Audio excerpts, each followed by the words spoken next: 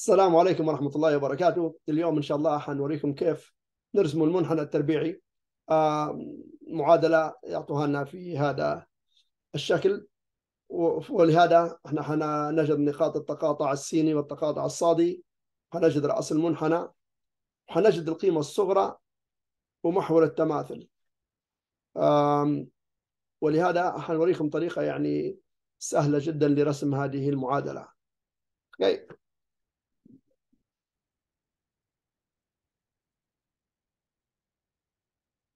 أول شيء شو نعمل؟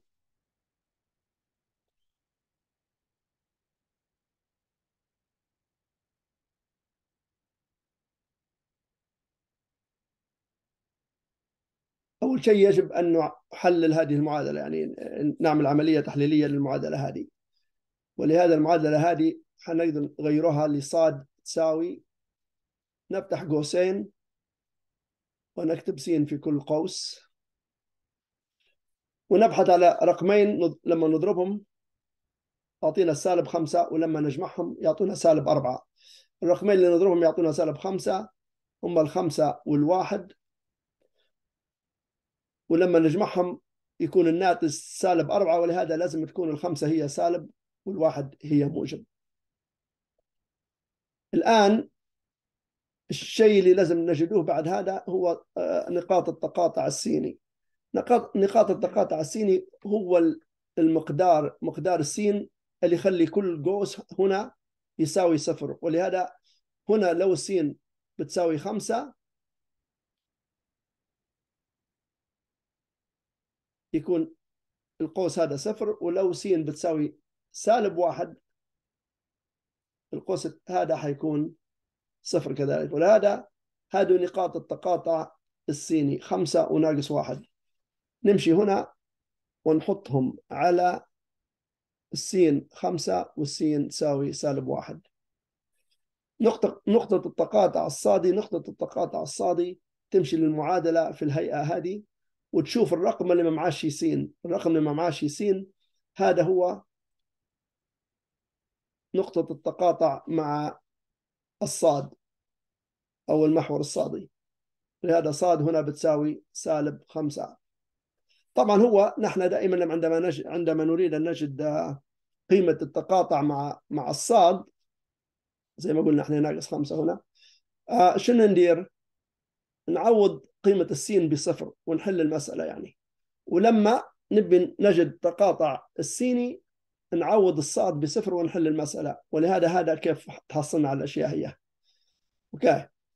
الآن عندما نجد نقاط التقاطع السيني هي هي. عندنا محور التماثل السيني محور التماثل السيني دائما يكون ما بين أو في المنتصف ما بين نقاط التقاطع السيني ولهذا إحنا عندنا تقاطع في ناقص واحد أو سالب واحد وخمسة. طبعا لو نعد ما لو نعد ما بين سالب واحد وخمسة نجد واحد اثنين ثلاثة أربعة خمسة ستة نص الستة هي ثلاثة ولهذا نرجع واحد اثنين ثلاثة. التقاطع السي محور التماثل حيكون هنا. محور التماثل دائما شنو نديروا نرسمه في خط متقاطع هكذا.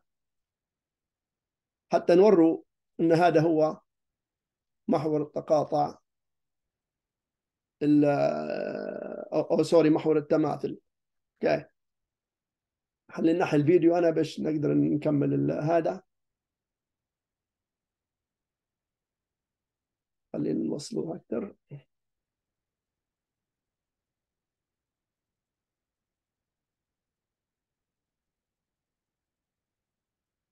ولهذا محور التماثل اللي هو س تساوي 2 لأن هذا الخط هو خط عمودي. يمر على اثنين في المحور السيني ولهذا تصير س تساوي اثنين هو محور التماثل. محور التماثل وتو نعرفوه عن عندما نرسم المنحنى التربيعي. بعدين حنعرفوه هذا شنو حيكون يعني. أوكي الآن س تساوي اثنين هو المحور آه، التماثل. الآن نبي نجد رأس المنحنى. طبعا زي ما نعرف المنحنى التربيعي يكون هكذا أو هكذا ولهذا يا يفتح فوق يفتح لوطة. كيف نعرفوه يفتح فوق ولا يفتح لوطة؟ نشوف المعادلة متاع السين تربيع. لو المعادلة متاع السين تربيع هو الرقم أمام السين تربيع يكون موجب حتفتح فوق المنحنى هيفتح فوق. ولو هذه تكون سالب المنحنى هيفتح تحت. أوكي؟ آه. كيف نجد رأس المنحنى؟ رأس المنحنى لما نجد محور التماثل اللي هو س تساوي 2 ناخذ قيمة السين تساوي 2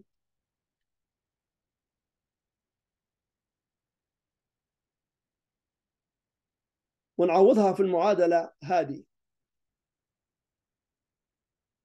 شو بيصير عندنا؟ بيصير صاد بتساوي 2 ناقص 5 ضرب 2 زايد 1 2 ناقص 5 تعطينا سالب 3 و2 زائد 1 تعطينا موجب 3 لما نضربهم الزوز هذا شو بيصير؟ بيصير آه، الرقم يساوي سالب 9 الآن رأس المنحنى حيكون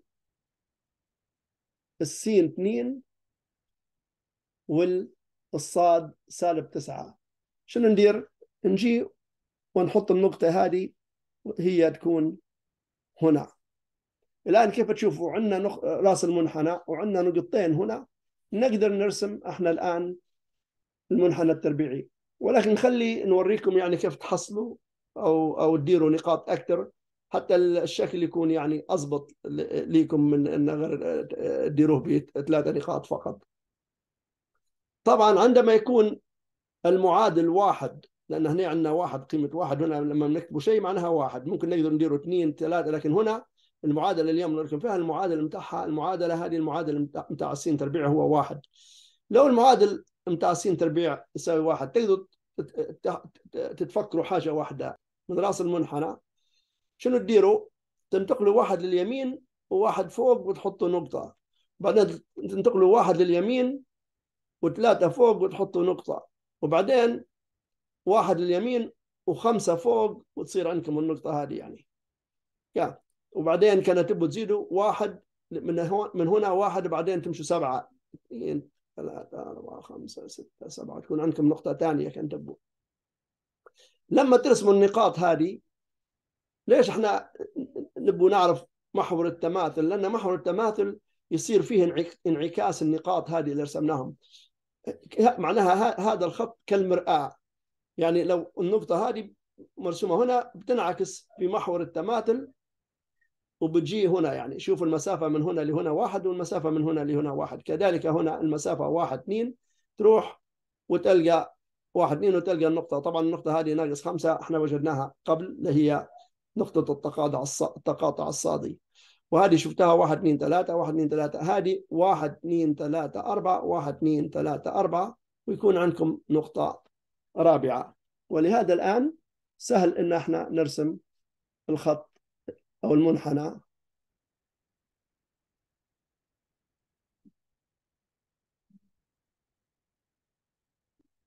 طبعا مش حيكون 100%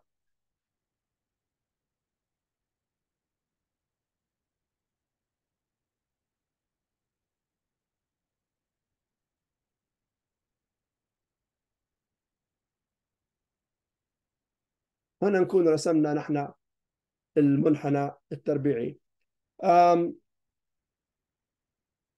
طبعا بعض الناس لما يحصلوا نقطة التماثل نقطة أو رأس المنحنى شنو يعملوا؟ يعملوا عبارة عن عملية تعويضية اللي هي السين والصاد. أنا دائما شنو ندير؟ نحط رأس المنحنى اللي هو 2 وناقص 9 وبعدين شو ندير؟ نزيد ناخذ نقاط سينية قريبة لاثنين اللي هي الثلاثة مثلا والأربعة والخمسة والستة. ونعوضها هنا يعني لو عوضنا ثلاثة هنا ثلاثة ناقص خمسة وثلاثة آه زائد واحد ثلاثة ناقص خمسة ناقص اثنين ثلاثة زائد واحد أربعة ناقص اثنين ضرب أربعة تعطينا ناقص ثمانية. والأربعة لو نحطها هنا أربعة ناقص خمسة تعطينا سالب واحد وأربعة زائد خمسة تعطينا موجب خمسة. واضربهم يصير الناتج سالب خمسة. لو نحط الخمسة هنا هذه بتعطينا الصفر معنى إيش؟ صفر ضرب هذا بتعطينا صفر. هذه نقطة الالتماس مع المحور الصيني. بعدين لو نحط ستة هنا ستة ناقص خمسة واحد وستة زائد واحد سبعة. واحد ضرب سبعة تعطينا سبعة. ولهذا لو تشوفوا النقاط هذه كلهم حيكونوا هذه شوف الستة والسبعة. ولكن زي ما قلت لكم طريقة ثانية أنك تمشي على اليمين واحد وتركب واحد وبعدين تمشي على اليمين واحد وتركب ثلاثة بعدين واحد وتركب خمسة وبعدين واحد وتركب سبعة. طبعا هذا عبارة عن واحد ثلاثة خمسة سبعة. لو لو المنحنى كان مفتوح لتحت تمشي واحد على اليمين وتنزل تحت. واحد ولو وتمشي واحد على اليمين وتنزل ثلاثة تحت وتمشي واحد وتنزل خمسة. هذا يعني طريقة هي عبارة عن ممكن الإنسان يتذكرها فقط. آه، كيف ما تلاحظوا هنا هذه الأرقام الفردية بالتوالي يعني آه، واحد ثلاثة خمسة سبعة. ولكن لو كان ال ال ال ال ال ال المعادل الصيني مثلا نقول المعادل الصيني كان اثنين الأرقام هذه كلهم لازم تضربهم باثنين ولهذا هذه بتصير اثنين هذه بتصير ستة هذه بتصير عشرة هذه بتصير 14 يعني تمشي واحد على اليمين اثنين فوق. تمشي واحد على اليمين وتمشي ستة فوق. ولهذا المعادل حيأثر على الأرقام هذه الواحد وثلاثة وخمسة وسبعة. ولهذا آه، بعض الناس يحبوا يستعملوا الذاكرة. ولهذا الذاكرة هذه هي يعني امشي واحد واحد واحد ثلاثة واحد خمسة واحد سبعة. أنا نحبذ الطريقة هذه ولكن أعرف أن بعض الطلبة يحبوا يعني يخزنوا في الذاكرة ولهذا يقدروا يستعملوا الشيء هذا. هذه طريقة بسيطة وهذا عبارة عن آه، معادلة كانت مش محللة حللناها لازم نحلل المعادلة باش نقدر نرسمها وبعدين نتبع الخطوات التالية ونجد الشيء هذا. القيمة الصغرى للصاد القيمة الصغرى للصاد صاد تساوي ناقص تسعة. طبعا لو المنحنى مفتوح لفوق عندنا قيمة صغرى. ولو المنحنى مفتوح مفتوح لتحت معناها حتكون عندنا قيمة قيمة عظمى. هذه قيمة صغرى وهذه قيمة عظمى. يعني هذه أكبر قيمة يوصل لها المنحنى. ولو المنحنى مفتوح لفوق هذه آه، آه، أصغر قيمة يوصل لها المنحنى. يعني هذا شنو تعني القيمة الصغرى والقيمة العظمى. كما قلنا لكم ابن أختي أيوب يعني حيواصل شرح الشهادة العددية. أنا مش عارف هل هذه آه، في الشهادة الاعداديه أو أول ثانوي. آه، ما نعرفش المنهج في ليبيا لأني زي ما قلت لكم نقري في كندا ما نقريش في ليبيا ونقري بالإنجليزي. ولهذا آه، لازم نحضر باش نعرف ال vocabulary المصطلحات تبع المنحنى رأس المنحنى القيمة الصغرى محور التماثل هذا كله يعني كنت درت بحث مش عرفت شنو يقولوا لهم بالعربي بدل الانجليزي okay وإن شاء الله مرة مرة حننزل حاجة. آه، لكن أيوب بإذن الله لما يكمل الشهادة العادية حينتقل للشهاده الثانوية. وأنا حنكون مكمل ليه لأن الدروس اللي كلهم نعطي معظمهم نعطيهم بالإنجليزي. آه، نتمنى أن ينال هذا إعجابكم. طبعا كيف لاحظت هنا حطيت الناقص على اليسار والعربي بالحق تحطه على اليمين ناقص تسعة. وشكرا. ما تنسوش طبعا هذه أهم شيء إنكم أنتم يعني تشتركوا بالقناة. وديما آه، يعني اضربوا اللايكات في الفيديو. وكان تقدروا تعلقوا باش يعني آه، القناة بتاعنا تكبر إن شاء الله وتكون آه، وإن شاء الله يعني نقدر نساعد الطلبة بكل شيء نقدر عليه إن شاء الله. دعمكم مهم جدا. ما تنسوش الاشتراك في القناة. إلى لقاء آخر. والسلام عليكم ورحمة الله.